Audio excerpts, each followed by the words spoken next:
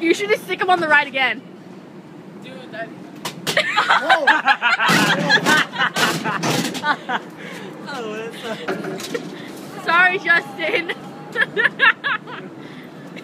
That's what you get for being a bully.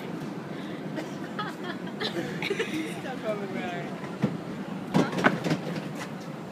I hope someone gets Go get it out. Get out.